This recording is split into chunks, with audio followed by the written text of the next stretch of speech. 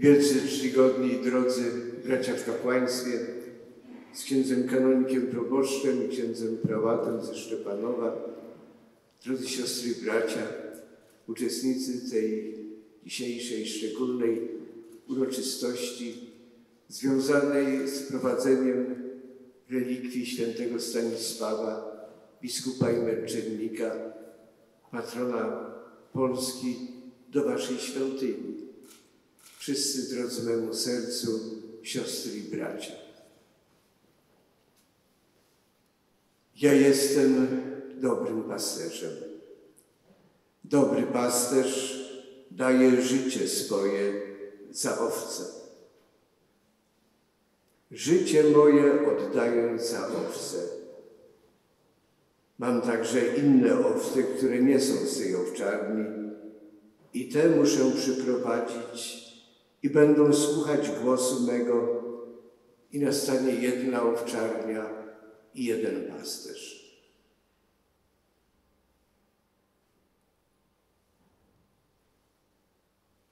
To Chrystus mówi o sobie, jestem dobrym pasterzem. Mówi w czasie teraźniejszym, określając całą swoją działalność, swoje nauczanie, swoje trudności, które spotyka na galilejskich, judzkich drogach i ścieżkach. Myśląc także o prowokacjach, które co jakiś czas musiał pokonywać. Ale przecież to, że jest dobrym pasterzem, że oddaje swoje życie za owce, znalazło najwyższy wyraz wtedy, kiedy stał się prawdziwie Bożym barankiem, władzącym grzech świata, władzącym ten grzech za cenę swojej krwi, przelewanej z wysokości krzyża Kalwarii. Do końca ich wtedy umiłował, do końca nas wszystkich umiłował, oddając swoje życie po to, aby ludzie, którzy stracili swoją godność i godność dzieciństwa Bożego na skutek grzechu Adama, mogli stać się w pełni uczestnikami życia. Życia, które tylko On mógł w pełni dać tym wszystkim, którzy w Niego uwierzyli. Zbawczą moc Jego męki i Jego krwi. To stało się przesłaniem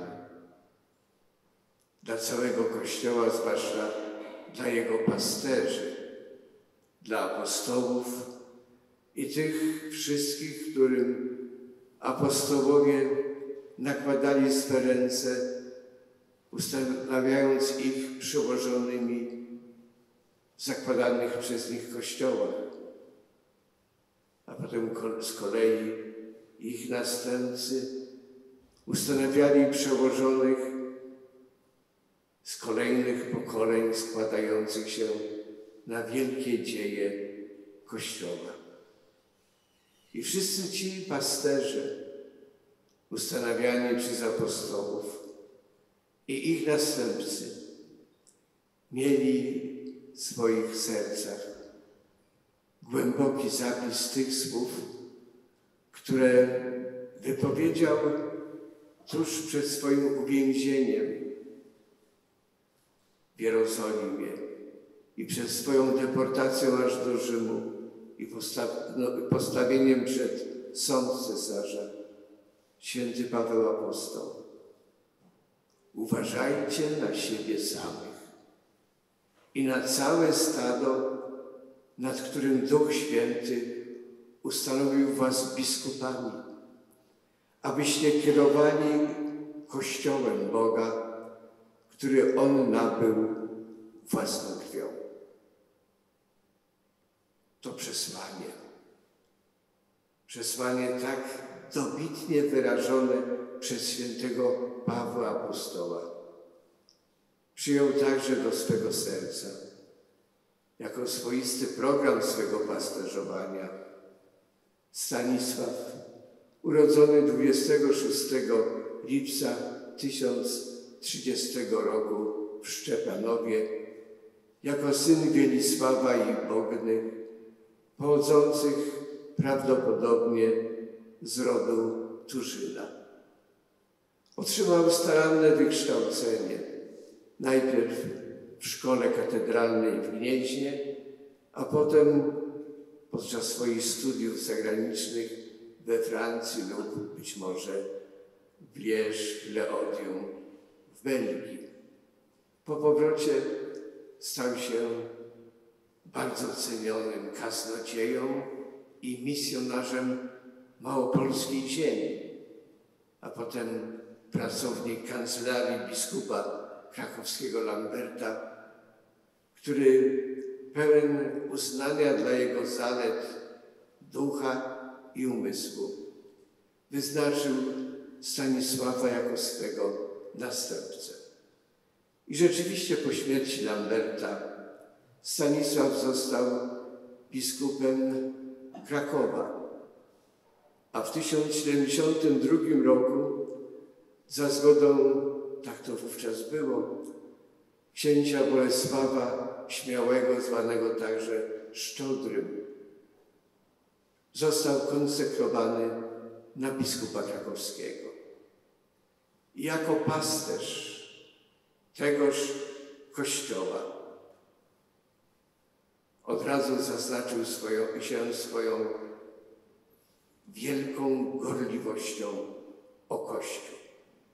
Ten w Krakowie i ten w całej ówczes, ówczesnej ziemi polskiej, dźwigającej się zwłaszcza w Wielkopolsce z ruin i zgliszcz po niezwykle niszczycielskiej wyprawie Brzezysława na ziemię polskie, Wielkopolskie zwłaszcza w 1038 roku. To on sprowadził do Polski rzymskich legatów. To on na nowo zorganizował metropolię gnieździeńską, co sprawiło, że Polska nie musiała się bać zakusów biskupów Magdeburgu, którzy chcieli sobie podporządkować ziemię polskie. To on doprowadził do koronacji księcia Bolesława na króla w 1076 roku.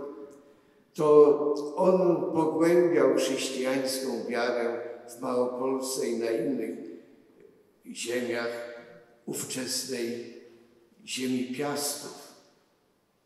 To wspierał misję chrześcijańskie na polskich ziemiach poprzez ustanawianie kolejnych klasztorów benedyktyńskich, które wtedy brały w całej Europie, ale zwłaszcza w tej części Europy, główny ciężar misjonowania powierzonych sobie ludzi.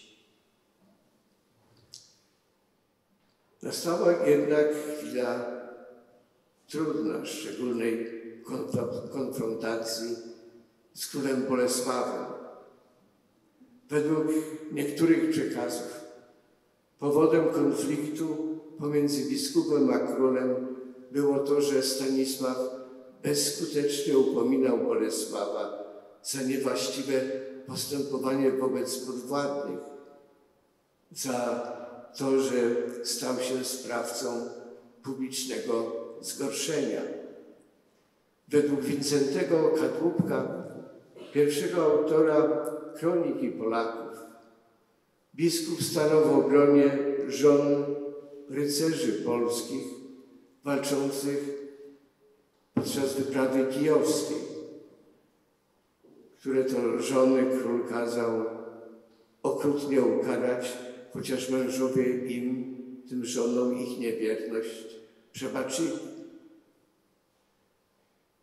Powodowany gniewem, król rozkazał zabić biskupa Stanisława na skałce podczas odprawiania przez niego mszy świętej. A ponieważ wysłani przez króla słudzy nie chcieli dokonać morderstwa na biskupie, osobie konsekrowanej, król własnoręcznie miał biskupa Stanisława zamordować. Według Gala Anonima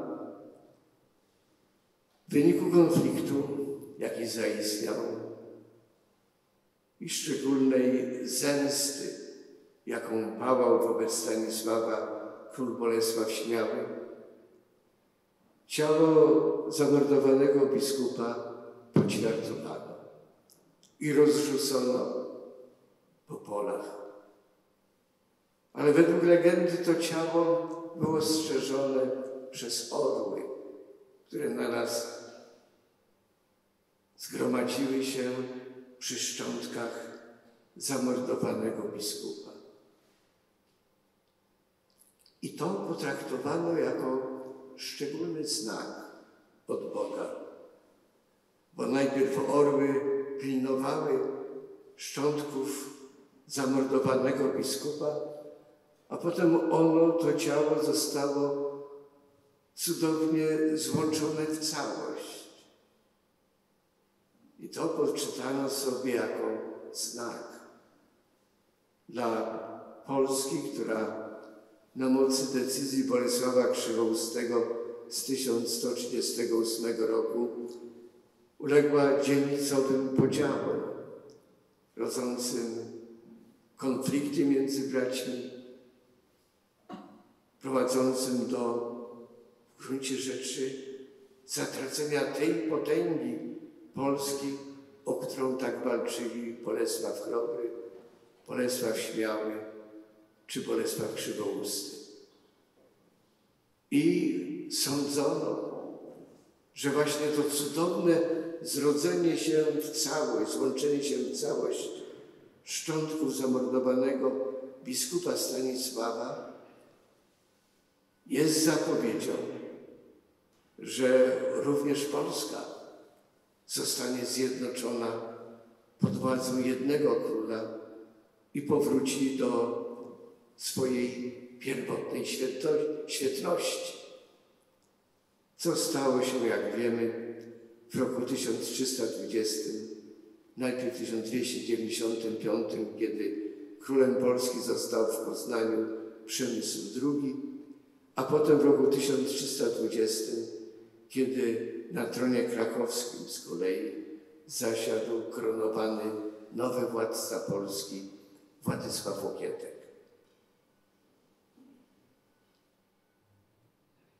W tradycji Kościoła w Polsce biskup Stanisław stał się nie tylko orędownikiem polskich spraw przed Bogiem, ale jednocześnie nieugiętym obrońcą ludzi narażonych na okrucieństwo i przemoc ze strony okrutnego władcy, a przede wszystkim jako symbol wyższości chrześcijańskiej moralności i, moral, i moralności wyrażającej się przede wszystkim w przykazaniach miłości Boga i bliźniego, nad niekiedy okrutnym prawem państwowym. Kiedy Polska szykowała się, a zwłaszcza kiedy archidiecezja krakowska sposobiła się do obchodów 900-lecia męczeńskiej śmierci biskupa Stanisława w maju 1979 roku. Nowy papież, urzędujący na stolicy Piotrowej w Rzymie zaledwie kilka miesięcy, Jan Paweł II, wystosował do Krakowa i do całej Polski list apostolski rutilans agment, to znaczy jaśniejący orszak.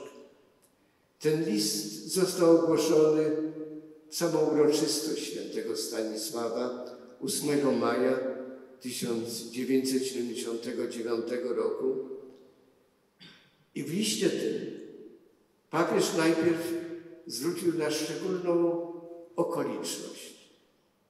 Oto najpierw, jeszcze niedawno, rok wcześniej, prosił Pawła VI, a potem Jana Pawła I po śmierci Pawła VI, aby na tę okoliczność 900-lecia śmierci świętego Stanisława ci papieże skierowali do Krakowa i do Polski okolicznościowe słowo.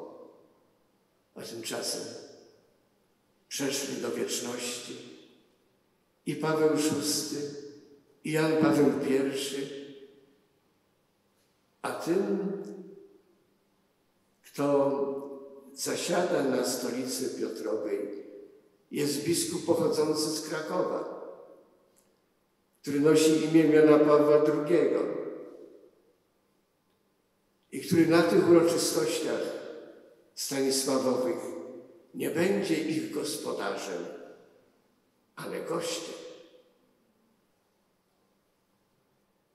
Do tej uroczystości, do tej okoliczności Stanisławowej nawiązał bardzo szeroko Jan Paweł II, kiedy półtora miesiąca później odbywał swoją pierwszą pielgrzymkę do ojczyzny. Mówił zwłaszcza o roli świętego Stanisława, kiedy ta pielgrzymka się już kończyła. 10 czerwca 1979 roku wobec milionowej rzeszy zebranej na krakowskich błoniach. Najpierw w tej bardzo przednej, programowej pielgrzymce wskazał pewne zbawcze tło tego, co wydarzyło się najpierw wtedy, kiedy Chrystus nauczał, a potem, kiedy w sukcesji apostolskiej biskupem w Krakowie został Stanisław. Jan Paweł II mówił wtedy tak. Zawsze z największym wzruszeniem słuchamy tych słów, w których zmartwychwstały Odkupiciel rysuje kontur dziejów ludzkości i zarazem dziejów każdego człowieka. Kontur dziejów, zarys dziejów, ale zarys jakże ważny, który wyraża się w słowach Chrystusa. Nauczajcie wszystkie narody. I kiedy słyszymy te słowa, mówił dalej papież, staje przed naszymi oczyma duszy ten moment, kiedy Ewangelia dotarła do naszego kraju, do naszego narodu, u początków naszej historii. I kiedy pierwsi Polacy otrzymali chrzest w imię Ojca i Syna i Ducha Świętego. Kontur duchowych dziejów Ojczyzny został zarysowany w obrębie tych samych słów Chrystusa wypowiedzianych do apostołów. Kontur duchowy dziejów każdego z nas również w ten sposób został zarysowany. A potem Jan Paweł II kreślił to, kim jest człowiek, na czym polega jego godność pośród wszystkich innych istot powołanych do życia przez Boga Stwórcę. Człowiek jest istotą rozumną i wolną. Jest świadomym i odpowiedzialnym podmiotem. Może i powinien osobistym wysiłkiem myśli docierać do prawdy. Może i powinien wybierać i rozstrzygać. Chrzest przyjęty na początku dziejów Polski jeszcze bardziej uświadomił nam tę właściwą wielkość człowieka. Zanurzenie w wodzie, które jest znakiem wezwania do uczestnictwa w życiu Trójcy Przynajświętszej, jest równocześnie niezastąpionym sprawdzianem godności każdego człowieka. Już samo to wezwanie do niej świadczy. Człowiek musi posiadać niezwykłą godność, skoro został wezwany do uczestnictwa w życiu Boga samego. Został powołany. Ma rozstrzygać, co z tym powołaniem zrobić. I tu otwiera się dramatyczna przestrzeń wolności każdego człowieka. Pytał papież wtedy na krakowskich błoniach. Czy można odepchnąć to wszystko? Czy można powiedzieć nie? Czy można odrzucić Chrystusa i wszystko to, co On wniósł w dzieje człowieka? I odpowiedział: Oczywiście, że można. Człowiek jest wolny. Człowiek może powiedzieć Bogu nie. Człowiek może powiedzieć Chrystusowi nie. Ale pytanie zasadnicze, czy wolno? W imię czego wolno? Jaki argument rozumu, jaką wartość woli i serca można przedłożyć sobie samemu i bliźnim, i rodakom, i narodowi, ażeby odrzucić, ażeby powiedzieć nie temu, czym wszyscy żyliśmy przez tysiąc lat. Temu, co stworzyło podstawę naszej tożsamości i zawsze ją stanowiło. Nie zapominajmy, to był rok 1979. Ciągle znajdowaliśmy się w okowach komunizmu pogrążani w ideologii materialistycznej i ateistycznej, która chciała cały naród nie tylko wezwać, ale zmusić do tego, by powiedzieć Chrystusowi nie.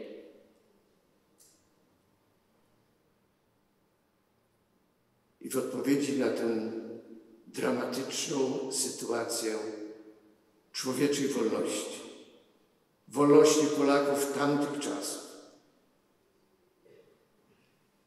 Jan Paweł II rysował kontury naszych dziejów, nawiązując do dwóch postaci. Świętego Wojciecha, biskupa i męczennika i świętego Stanisława, też biskupa i męczennika.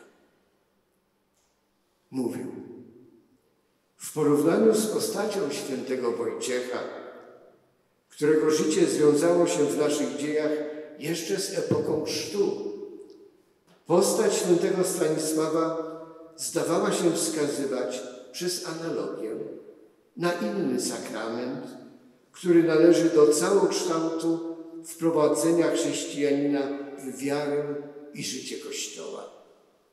Jest to, jak wiadomo, sakrament bierzmowania, czyli umocnienia. Tak jak dojrzałym chrześcijaninem staje się człowiek ochrzczony przez przyjęcie sakramentu bierzmowania, tak też opatrzność Boża dała naszemu narodowi w odpowiednim czasie po chrzcie historyczny moment bierzmowania. Święty Stanisław którego od epoki chrztu dzieli prawie całe stulecie, symbolizuje ten moment w sposób szczególny przez to, że dał świadectwo Chrystusowi, przelewając krew. Sakrament bierzmowania przyjmujemy jeden raz w życiu, podobnie jak chrzest. A całe życie, które otwiera się w perspektywie tego sakramentu, nabiera charakteru wielkiej i zasadniczej próby. Jest to próba wiary i próba charakteru. Święty Stanisław stał się też w dziejach duchowych Polaków patronem owej wielkiej, zasadniczej próby wiary i próby charakteru.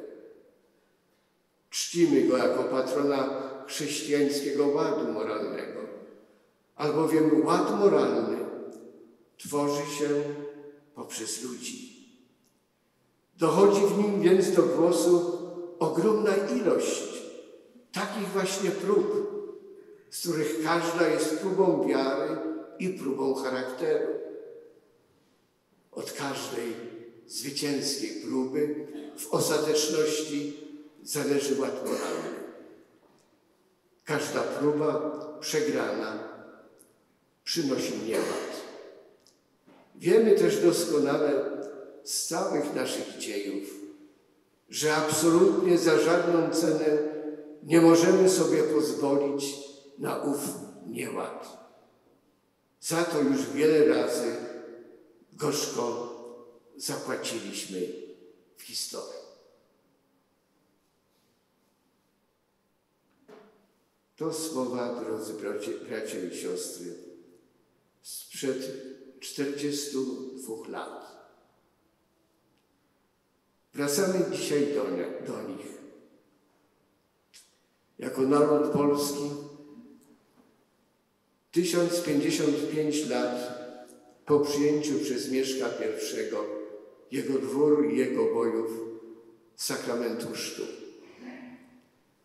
Po 942 latach od chwili męczeńskiej śmierci świętego Stanisława biskupa. Wracamy do tych słów papieskich i raz jeszcze rozważamy dramatyczność naszej dzisiejszej wolności, naszych prób wiary i naszych prób charakteru.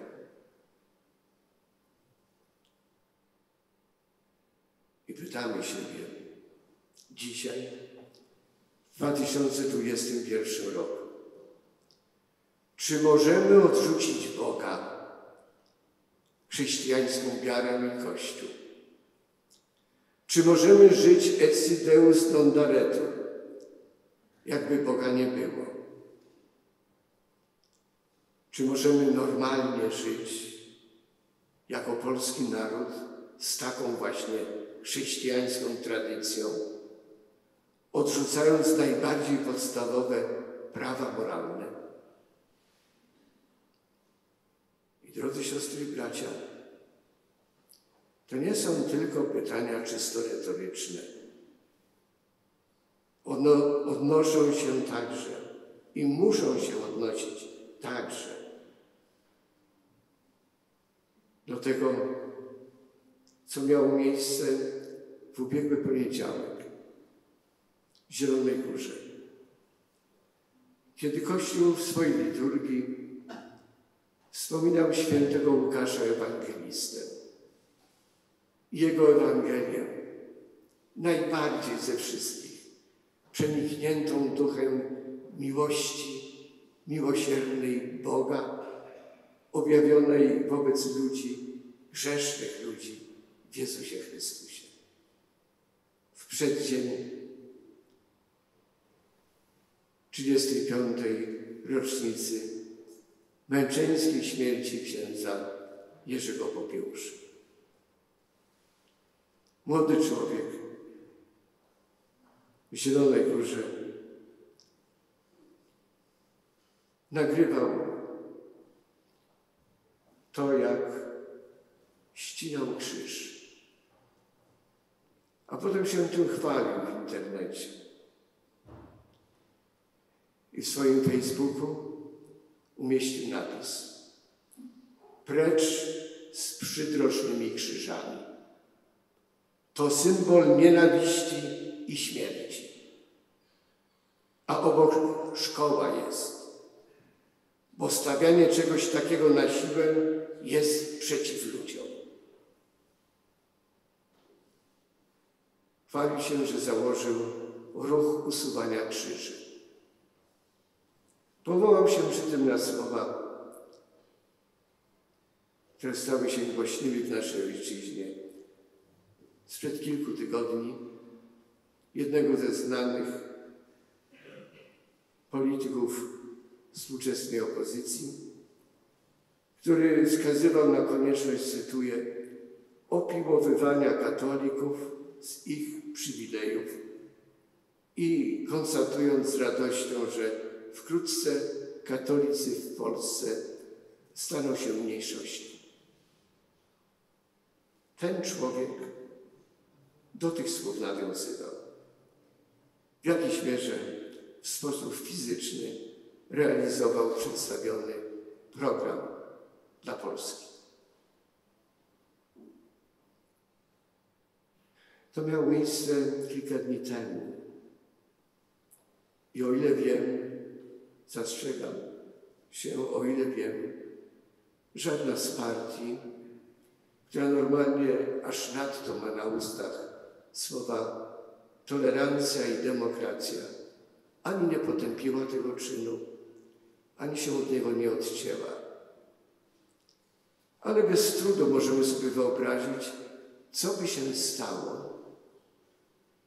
gdyby sprofanowano święte znaki czy to dla religii judaistycznej, czy dla islamu.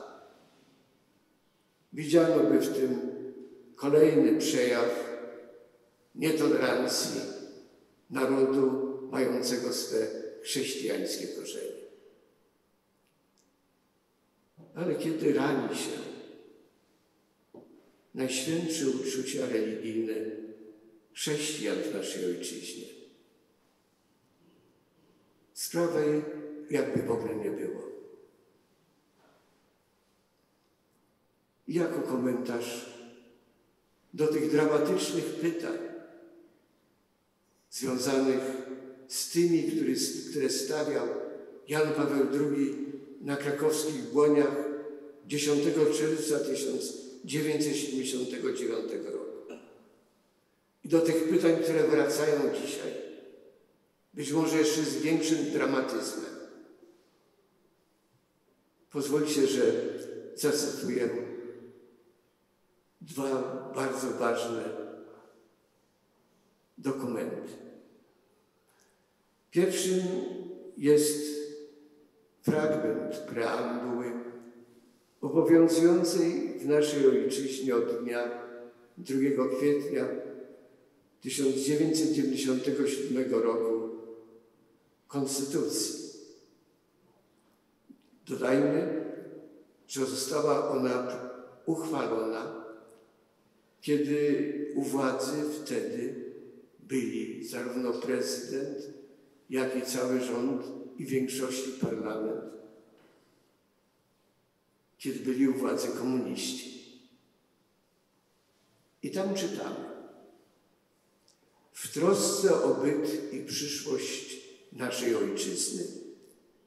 Odzyskawszy w 1989 roku możliwość suwerennego i demokratycznego stanowienia o jej losie, my, naród polski, wszyscy obywatele Rzeczypospolitej, zarówno wierzący w Boga, będącego źródłem prawdy, sprawiedliwości, dobra i piękna, jak i niepodzielający tej wiary, a te uniwersalne wartości wywodzące, wywodzące z innych źródeł, równi w prawach i w powinnościach wobec dobra wspólnego Polski, w poczuciu odpowiedzialności przed Bogiem lub przed własnym sumieniem. Ustanawiamy Konstytucję Rzeczypospolitej Polskiej jako prawa podstawowe dla państwa. te prawa muszą obowiązywać zarówno polityków, jak i wszystkich obywateli Rzeczypospolitej. Taki jest zapis Konstytucji. I drugi dokument. To fragment homilii, który, którą zaledwie dwa miesiące po opublikowaniu, o przyjęciu Konstytucji w Zakopanem 6 czerwca 1997 roku wygłosił Jan Paweł II. Mówił wtedy do mieszkańców Podhala i nie tylko do nich. Kiedy kończył się wiek XIX, a rozpoczynał współczesny, ojcowie wasi na szczycie Giewontu ustawili krzyż. Ten krzyż tam stoi i trwa. Jest niemym, ale wymownym świadkiem naszych czasów. Rzecz można, iż ten jubileuszowy krzyż patrzy w stronę Zakopanego i Krakowa i dalej, w kierunku Warszawy i Gdańska. Ogarnia całą naszą ziemię od Tatr po Bałtyk. Chcieli wasi ojcowie, aby Chrystusowy krzyż królował w sposób szczególny na Giewoncie. I tak też się stało. Wasze miasto rozłożyło się u stóp krzyża. Żyje i rozwija się w jego zasięgu. I Zakopane, i Podhale. Mówią o tym również przydrożne kapliczki, pięknie rzeźbione, z troską pielęgnowane. Chrystus towarzyszy Wam w codziennej pracy i na szlakach górskich wędrówek. Mówią o tym kościoły Waszego miasta, te stare, zabytkowe, kryjące w sobie całą tajemnicę ludzkiej wiary i pobożności, a także te nowe, niedawno powstałe dzięki Waszej ofiarności, jak chociażby parafialny kościół Świętego Krzyża. Umiłowani bracia i siostry, nie wstydźcie się krzyża. Starajcie się na co dzień podejmować krzyż i odpowiadać na miłość Chrystusa. Brońcie krzyża. Nie pozwólcie, by imię Boże było obrażane w waszych sercach w życiu społecznym czy rodzinnym. Dziękujmy Bożej Opatrzności za to, że krzyż powrócił do szkół, urzędów publicznych, szpitali. Niech on tam pozostanie. Niech przypomina o naszej chrześcijańskiej godności i narodowej tożsamości, o tym, kim jesteśmy i dokąd zmierzamy i gdzie są nasze korzenie. Niech przypomina nam o miłości Boga do człowieka, która właśnie w krzyżu znalazła swój najgłębszy wyraz. Ileż wysiłku nas, drodzy siostry i bracia, czeka. Duchowego wysiłku, modlitwy, by świadomość tego, czym jest krzyż, dla każdego człowieka, także dla niewierzącego. Wyraz największego poświęcenia i ofiary z życia, by inni mieli życie. Ile takiej ofiary trzeba, by wszędzie i każdy umiał ten krzyż uszanować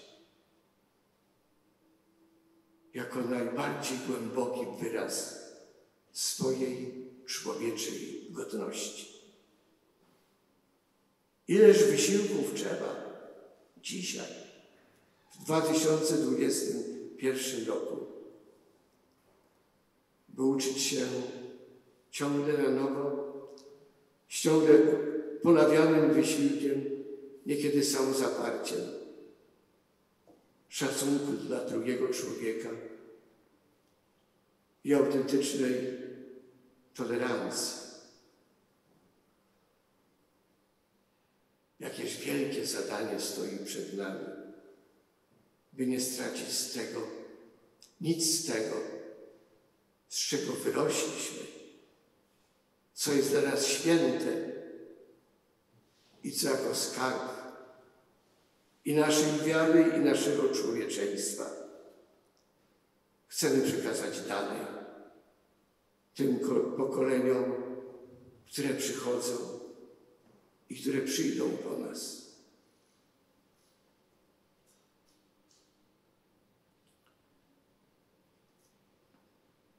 Zdajemy sobie sprawę z wielkości. Wielkości stojących przed nami zadań, modlitw i ofiar i dobroci, i dobroci, która zwycięża zło jak pisał święty Paweł w liście do Rzymian, co stało się, jak wiemy, głównym przesłaniem całej heroicznej działalności błogosławionego księdza Jerzego. A my na zakończenie tych rozważań przywołajmy dwa inne fragmenty tegoż listu do Rzymian, słyszane w czytaniu mszalnym. Pierwsze, pełne nadziei i mocy. Jeżeli Bóg z nami, któż przeciwko nam? I drugie, a we wszystkim tym odnosimy pełne zwycięstwo dzięki temu, który nas do końca